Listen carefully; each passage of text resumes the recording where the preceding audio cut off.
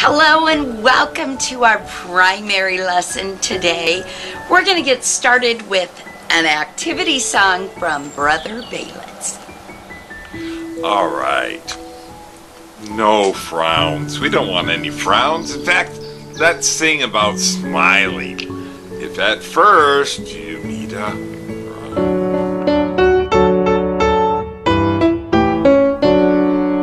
If you chance to meet a frown, do let stay. Quickly turn it upside down and smile that frown away. No one likes a frowning face, change it for a smile. Make the world a better place by smiling all the while. We are now excited to have a special message from Bishop Stamper. My friends in the primary and Monroe Ward, I'm so happy and pleased to be able to be with you today. Thank you, Sister Baylitz, for giving me some time to speak with all of you. And it's my privilege as your bishop to spend a couple of minutes with you today to talk about Come Follow Me this week. Specifically, one of the most important things about the gospel that really always touches my heart. And that's the theme of the gathering of Israel on both sides of the veil. But more specifically, I want to talk about missionary work in this life. And I want to paint a picture, okay? So let's start, and I'm going to share with you a couple of slides as well. So um, remember in, on April 6, 1830, the Church of Jesus Christ of Latter day Saints was organized, okay? And after that sacred gathering of nearly four dozen saints at the Whitmer home in Fayette, New York, uh, on that special day, the church was officially restored in this dispensation. That means that the Church of Jesus Christ of Latter-day Saints was was was live. It was it was it was open for business, right? And this little group of Latter-day Saints that were there, these 48 saints, were then given the responsibility to take the restored gospel to everybody in the world. Now think about that for a second. 48 people, that's it. We're taking the response we're given the responsibility to take the gospel to everyone else in the world. Billions and billions of Heavenly Father's children. Okay? But the Lord knew who he was calling and and what his converts to the gospel would do with that sacred calling. And so, one of those eager um, missionaries in this dispensation was me, right? Now, I wasn't part of the early church, but I was able to serve a mission full time in Haiti for 25 months. And it was just a wonderful experience, and I absolutely loved it. But in the early days of the church, the very first missionary that was called was a young man by the name of Samuel Harrison Smith. Yep, that's right. It was the prophet Joseph Smith's younger brother. And did you know that, just a fun little fact, that Samuel Smith, his family actually called him Harrison. Not just Samuel Smith, but they called him Harrison Smith. Okay? So he was the first official missionary of the church. And so what his mission was was pretty simple. The Book of Mormon had just been printed, and they printed uh, a couple thousand copies of the Book of Mormon, but they, they carried a big printer's debt. And so they had to be able to pay for the cost of the Book of Mormon. And, and Martin Harris, one of the early founders of the church, one of the, one of the early saints in the church history, uh, and one of, the, one of the folks that were instrumental in getting the Book of Mormon printed, um, actually mortgaged his farm so that they could pay the printer to actually print all these copies of the Book of Mormon. So Samuel Smith's first mission was to carry with him as many copies of the newly published Book of Mormon as he could and sell them to anybody who was interested to help raise the funds to help pay for the printing costs. Now, that was a pretty big de- debt, and it was an 18 month mortgage that was on Martin Harris's farm, and it was it was for $3,000. So he had basically 18 months to pay for this. So they felt some pressure to go ahead and, and get the Book of Mormon out to as many people as possible. Now, in those days, a, a brand new copy of the Book of Mormon uh, actually cost about a dollar twenty-five. That's it, right? only a dollar twenty-five. But in our money today, that would be the equivalent of about thirty-four dollars. So imagine your job was to sell copies of, of the Book of Mormon uh, to to people um, that really weren't that receptive to the Book of Mormon at that time. Okay, so as Samuel started off, he he was a little bit frustrated because there wasn't a warm reception. There wasn't a lot of people that were saying, "Yes, I want to buy that book." So Samuel walked more than 20 miles in the first day that he started his his his missionary work, and he made it made it to Bloomington, uh, New York, to a local tavern. Okay, so he tried to sell the book to the, the rough innkeep, in, rough looking innkeeper, who who basically said that the the Book of Mormon um, was was not true, and he actually called Samuel Smith a liar and he threw him out of his tavern. Now, remember, Samuel Smith was six foot four, so I don't think he really threw him out, but uh, but Samuel Smith ended up leaving, and so he ended up sleeping that night under an apple tree and going to bed without any food. So the next day, he was walking around and talking to people, and he found a Methodist preacher by the name of John P. Greene. And Samuel tried to convince convince that reverend of the importance of the book, but but the the, the preacher was a little bit skeptical. Um, but his his wife was listening uh, on the side, and the conversation went something like this: "Well, Mr. Smith, I am not personally interested in your book, but if you will leave a copy here, I will take it on my circuit, and I'll make a list of any people who might be interested in buying it for you." Well, that wasn't much. That wasn't. That didn't really have a lot of success. So he was pretty discouraged. So Samuel came back. He did leave the book, but he came back two weeks later, uh, and the Reverend Greene had not found anyone interested. So he left the book with him anyway, hoping for some interest in, in about his next round of, of, of preaching. And about the end of July, he returned again, and this time Samuel was determined to get either a dollar twenty-five for the book that he left, or to retrieve it from from Reverend Greene. And it just so happened that the, the um, that it was a providential moment in that moment in time. So, and Mr. Greene wasn't actually home when Samuel came to retrieve the book, but his wife Rhoda was. Now he talked with her for a little while, and then um, he was determined to take the book. So he asked her, and and Rhoda didn't want him to take the book. She said, "Sir, I have read this book and I know it to be true. And, and she asked Samuel at that time if he would pray with her. So they actually knelt down in prayer, and Rhoda said, I have never heard any prayer so, and it filled her with the Spirit of God. And during the prayer, the Spirit whispered to Samuel Smith to leave the book with Rhoda. So he encouraged her, uh, he really encouraged her to, to, to tell her husband to read the book and how he could obtain his own testimony. And so she was thrilled to do so. Well, the woman's name, her maiden name, was Rhoda Young Greene. So I don't know if you know any Youngs in the church, but what ended up happening is that that that Rhoda ended up um, sharing the book with her husband. Her husband ended up um, becoming a member of the church, and Samuel was able to sell copies. And Rhoda also shared it with her brother, who happened to be the second prophet of who became the second prophet of the church, who was uh, President Brigham Young. But he was the President Brigham Young at the time. But he he ended up um, uh, reading the Book of Mormon, finding it was true, and he ended up joining the saints at a later time.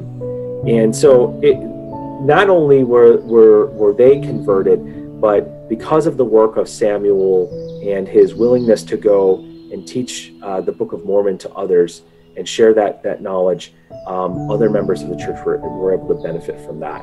So what what a beautiful beautiful story, and, and I, I wasn't sure if any of you knew that story, so I wanted to share that with you. I want to testify to you that I know that the Book of Mormon is true. I know that missionary work is super important, and I hope that all of you at some point in time in your life would like would, would prepare yourself to serve a full-time mission. And I leave that with you in the name of Jesus Christ. Amen. This week, our lesson was on Doctrine and Covenants, section 23 through 26.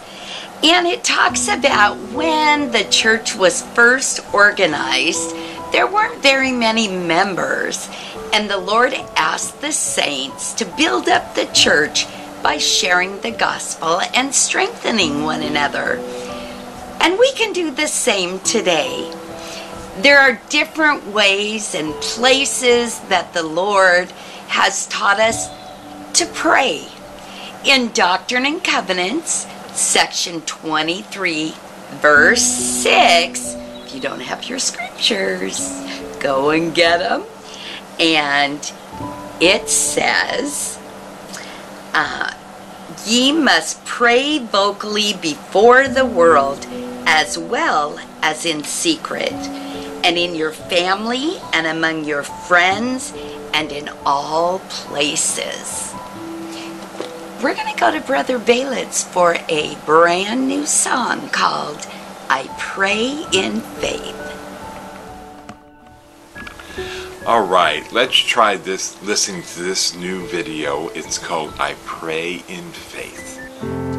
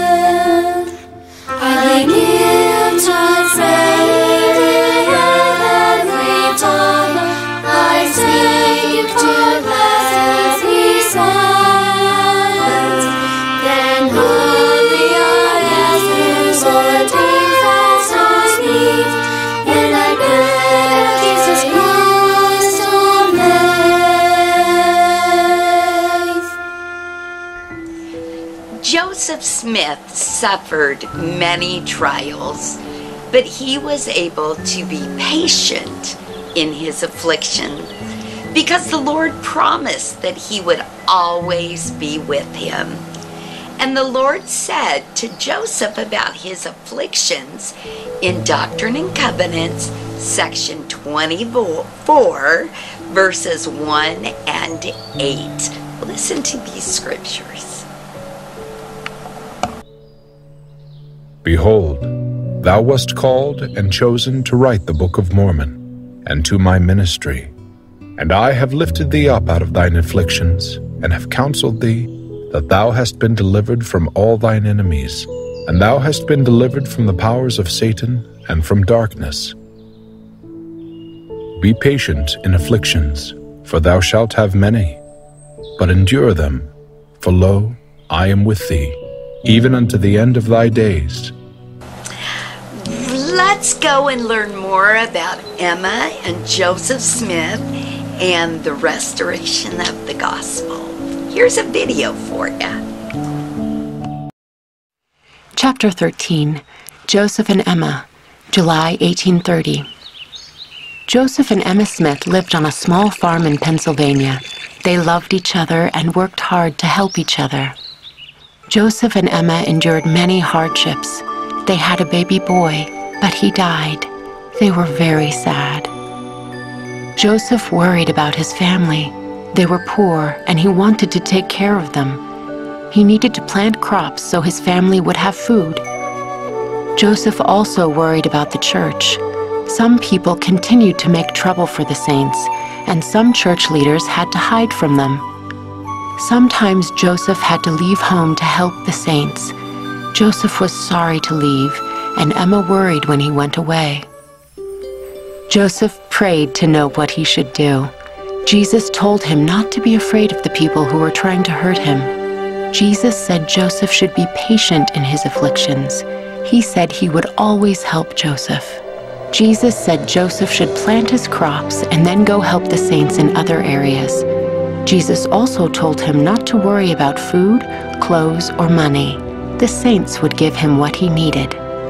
Jesus gave Joseph Smith a revelation for Emma. Jesus said Emma Smith was a special lady. He had chosen her to do important work. Jesus said Emma should comfort Joseph when he had troubles. She should help him be happy and not worry. Jesus said Emma should teach the saints and help them learn the scriptures. He said the Holy Ghost would help her know what to teach. Jesus also said Emma should use her time to study. She should learn and write many things. Jesus asked Emma to choose songs for the saints to sing. The songs would be printed in a songbook. Heavenly Father loves to hear righteous people sing. Their songs are a prayer to Him, and these prayers will be answered with a blessing. Jesus told Emma to be humble and to love her husband. He told her to be happy because of the blessings that would come to Joseph. Jesus told Emma to be happy and rejoice. He also told her to keep her covenants. If she did, she would receive great blessings and be able to return to live with him in heaven. Jesus said that the things he told Emma Smith are for all people. In Doctrine and Covenants, section 25, verses 11 and 12, it says, And it shall be given thee also to make a selection of sacred hymns, as it shall be given thee, which is pleasing unto me to be had in my church. For my soul delighteth in the song of the heart, yea, the song of the righteous is a prayer unto me, and it shall be answered with a blessing upon their heads. Jesus loves the song of the heart. We have a cute video by Latter day Kids to give an example. Three little birds were flying around the forest. These birds had a very special talent. They were songbirds. Whenever they felt something in their hearts, they would sing about it. And whenever they saw other animals in the forest, they would stop and sing a song just for them. First, the songbirds saw a woodpecker making a hole in a tree. The songbirds flew over to the woodpecker and shared what was in their hearts.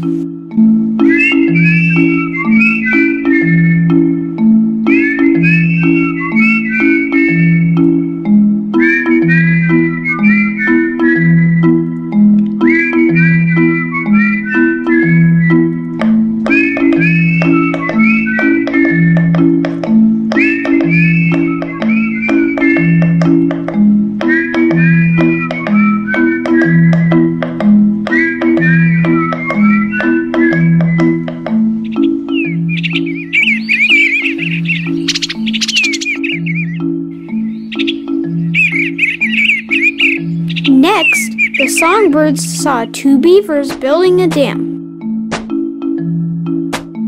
The songbirds flew over to the beavers and shared what was in their hearts.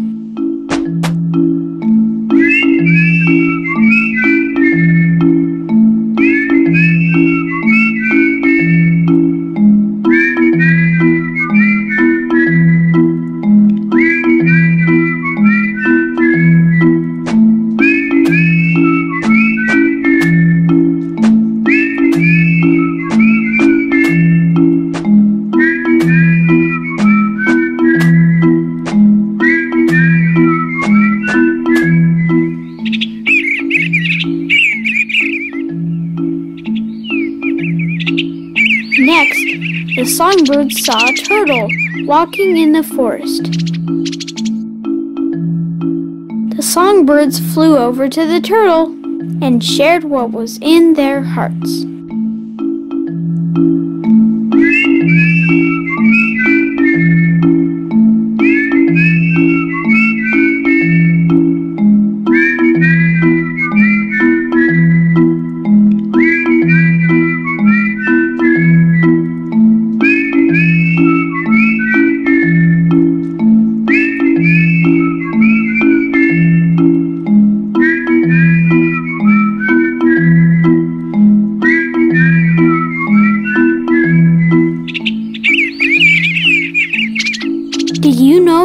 Could share whatever is in our hearts just by singing? And did you know that singing is one of the ways we can talk to Heavenly Father and Jesus Christ? They are very pleased when we sing to them from our hearts. The scriptures teach us that when we sing to them, it's like a prayer. And the scriptures promise the song of our hearts will be answered with a blessing. So, what song is in your heart?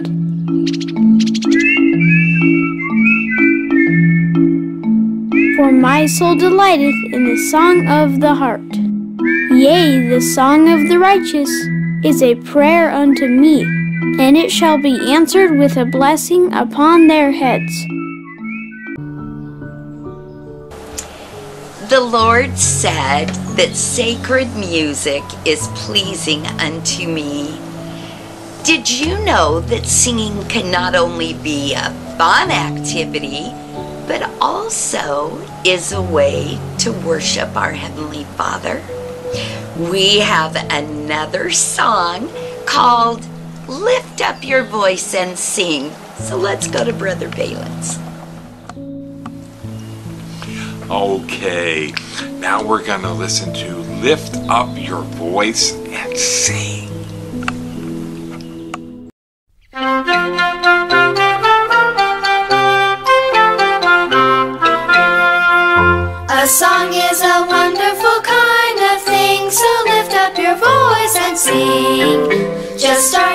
Song, let it float, let it ring, and lift up your voice and sing. We shall make music to brighten the day. Music will help us to lighten the way. Lift up your voice, lift up your voice, lift up your voice and sing. Not many weeks after the church was organized, the Lord assigned Emma to make first hymnal. The saints needed ways to learn newly revealed gospel truths and to uni- unite in praising God. Hymns would be at the heart of their worship and learning. After Emma Smith was baptized, the Lord told her to cleave unto the covenants which she had made. The word cleave in this verse means to hold on tightly to something. What a wonderful thing to know that our Heavenly Father has given us a way to hold on to those things that we know are true. Emma faced a lot of trials, but she continued to keep the covenant she had made with the Lord. We're going to go to Brother Valence for a song, and then we'll come back for our weekly challenge.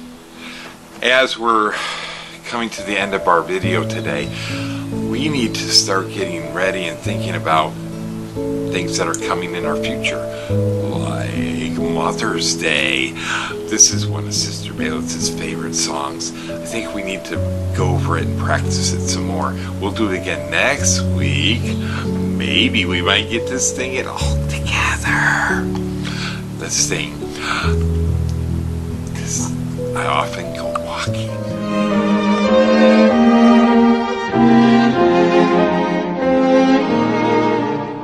I often go walking of clover, and I gather armfuls of blossoms of blue. I gather the blossoms the whole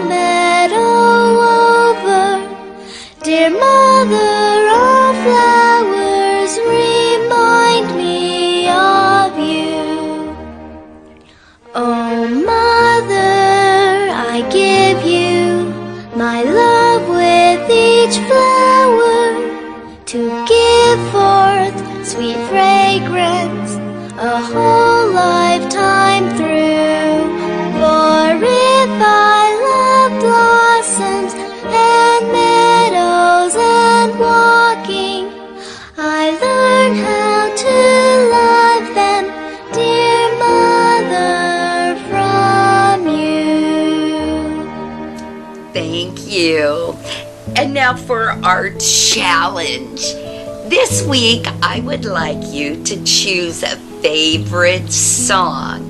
It can be from the hymn book or the primary songbook and sing it with your family.